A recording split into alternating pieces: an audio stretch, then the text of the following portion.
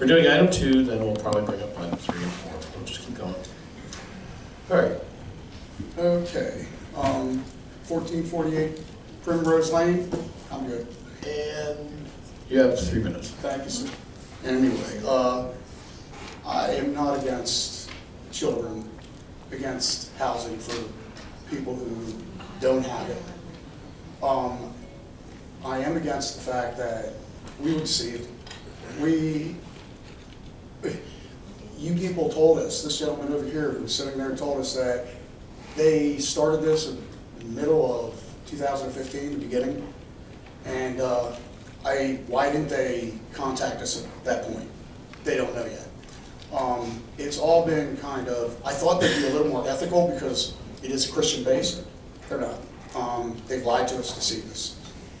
And I'm not for it, and I really don't understand, all the people that are here for it, isn't there other avenues we could look in with all this manpower that's here?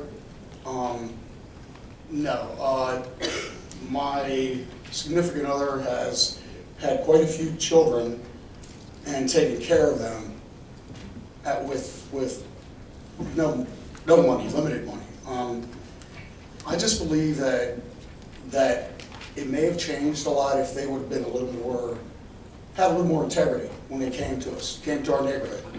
Um, That's the reason why the zoning commission did, they came to the meeting.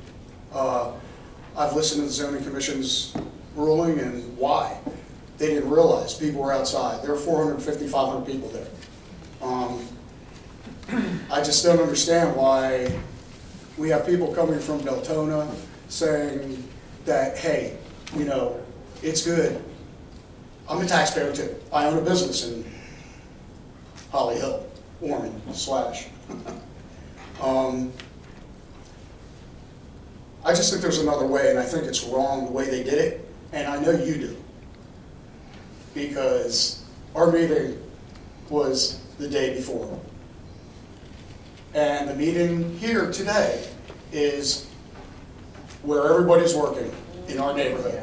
They are all working. They pay their taxes. They pay their property taxes. Our houses will go back up, but there are other alternatives for that property. Park, period. You know, something for the whole community, not just for a limited amount. That's all I gotta say, but thank you. Thank you for listening to me. Thank you, sir.